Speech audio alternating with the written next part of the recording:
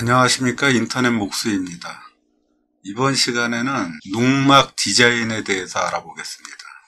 일반적인 농막 형태는 아니고요. 약간 좀 space module 스타일의 미래 지향적인 그런 디자인이 되겠습니다. 이 디자인의 모티브는 이 영상입니다. 틱톡에 이런 형태의 숙박 시설이 요즘에 많이 보이고 있습니다.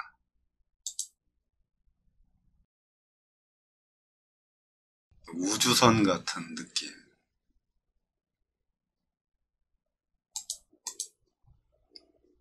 SF물 보면은 복도 통로라든지 출입문이라든지 하는 곳이 이렇게 팔각형 형태로 디자인을 하지 않습니까? 그것을 그대로 따라 한 것 같아요. 여기가 중국이거든요.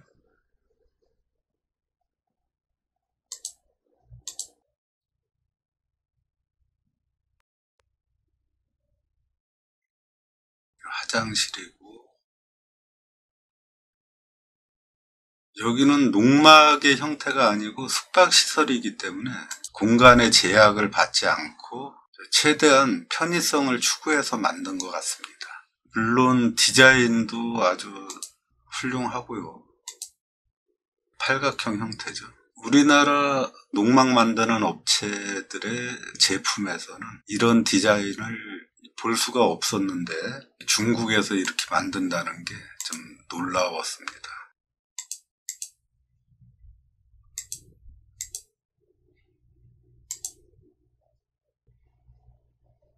우주선 같이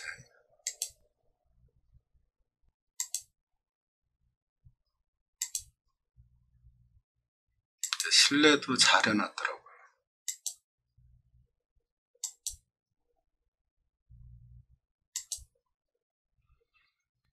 이 디자인을 모티브로 해서 외병 스케치업에서 농막으로 사용하기 위해서 재설계한 모델링을 소개하도록 하겠습니다.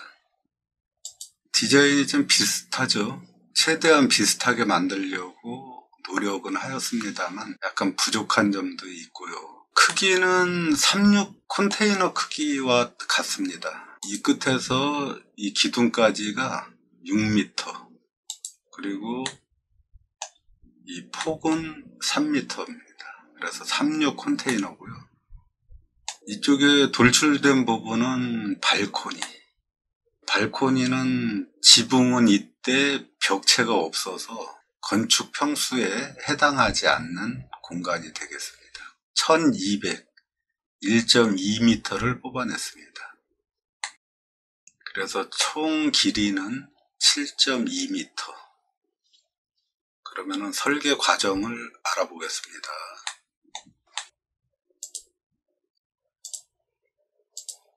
바닥입니다.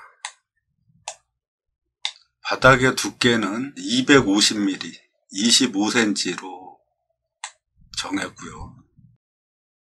이곳에 기초 프레임이 들어가 있겠죠.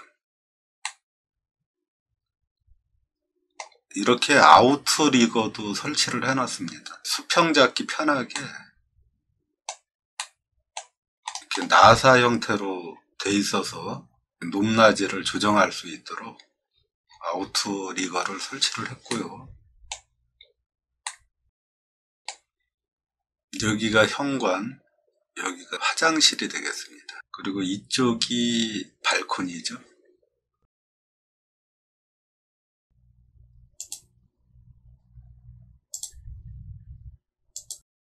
치수는 이렇게 재보면 6,000 여기까지는 7,200입니다. 이렇게 바닥판을 만들었고요. 벽체입니다. 여기는 전부 다 통유리로 되어 있기 때문에 벽체가 이쪽밖에 없죠. 현관 쪽 그리고 좌측 측벽 화장실 칸막이 이런 식으로 벽체가 구성이 되어 있습니다. 표현은 통유리로 했습니다만 여기는 전부 샤시로 되어 있더라고요. 통유리로 표현을 했지만 샤시로 시공을 하면 되겠습니다. 벽체가 간단하죠?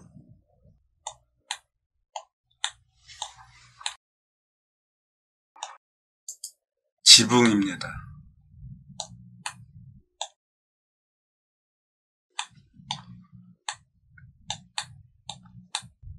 처음에는 사각형을 만들어서 한 번에 모델링을 하려고 하다 보니까 가공하는데 좀 어려움이 있었어요. 그래서 바닥판, 벽체, 지붕으로 나눠서 모델링을 하게 되었습니다. 우물 천장도 만들었고요. 여기는 통유리이기 때문에 이렇게 커튼 박스가 전체적으로 돌아가 있습니다.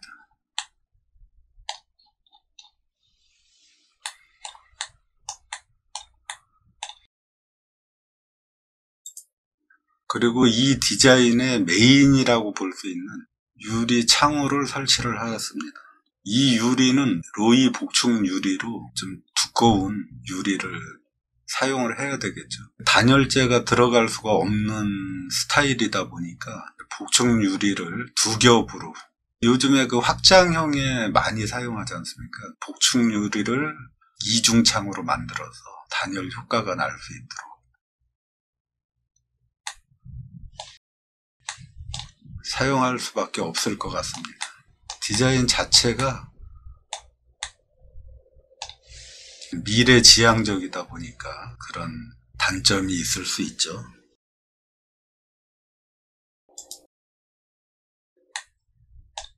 여기에 간단한 주방 가구를 설치를 했습니다. 농막, 즉 쉘터잖아요. 여기서 살림을 하는 건 아니기 때문에 좀 간단한 아, 여기에 싱크볼하고 수도꼭지 같은 수전도 설치를 하였습니다. 이 수전은 여기 3D 웨어하우스에서 다운받아서 설치를 하였습니다.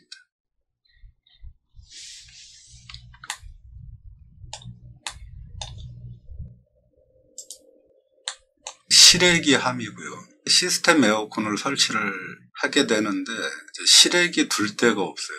보통 공사 현장에서 보면은 삼력 컨테이너를 사무실로 많이 쓰거든요.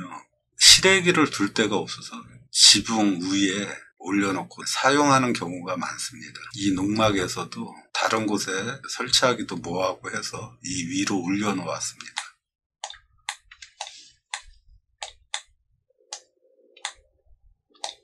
그리고 수시로 점검할 수 있도록 이렇게 점검 사다리까지 만들어 놓았습니다.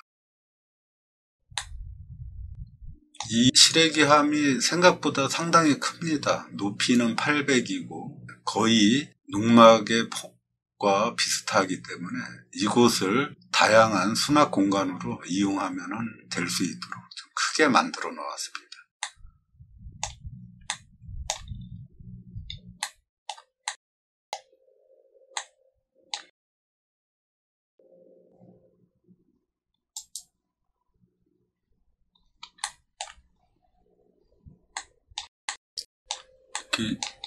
욕실 문은 임시로 설치해 놓은 문이 되겠습니다.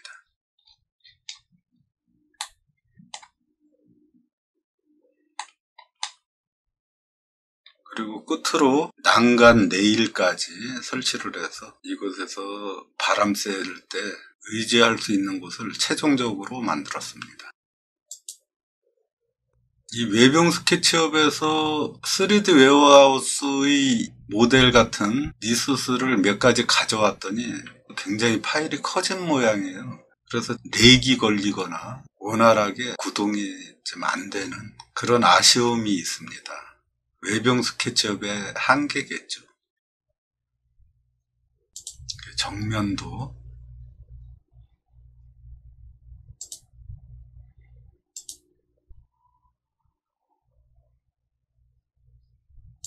배면도입니다.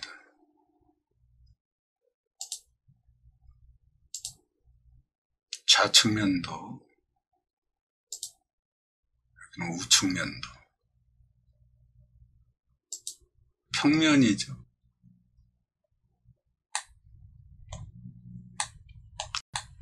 이런 식으로 설계를 해 보았습니다.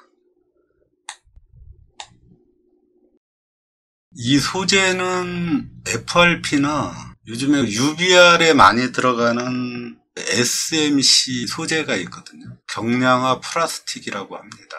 그런 소재를 사용하면 될 것 같아요. 캠핑카에 많이 들어가는 소재가 되겠죠. 이렇게 약간 미래지향적인 스타일의 농막에 대해서 알아보았습니다. 이곳에다가 침대까지 전부 다 설치를 해보았거든요. 파일이 너무 커서 용량의 한계 때문에 전부 다 보여드리지는 못하지만 킹사이즈 침대가 놓이더라도 여유 공간이 상당히 많더라고요. 여기에다가 소파라든지 TV까지 설치를 해도 되고요. 틱톡 영상 보시면 내부도 잘 돼 있거든요. 그렇게 참고하셔서 구상을 해보시면 좋을 것 같습니다. 그리고 이 모델을 디자인하는데 이제 가장 역점을 둔 것이 이렇게 라운드 가공이었거든요. 라운드를 가공하는 방법이 가장 핵심이었던 것 같아요. 이렇게 웬만한 거는 다 만들 수 있지만 이렇게 라운드 가공하는 것은 조금 초보자들은 어려울 수 있습니다. 그래서 라운드 처리하는 과정을 별도의 동영상으로 만들어서 올리도록 하겠습니다. 네, 지금까지 space module 스타일의 미래지향적인 농막 설계에 대해서 알아보았습니다. 내용이 유익하셨다면 구독과 좋아요 눌러주시고 앞으로 좋은 컨텐츠 많이 만들도록 하겠습니다. 지금까지 시청해 주셔서 감사합니다.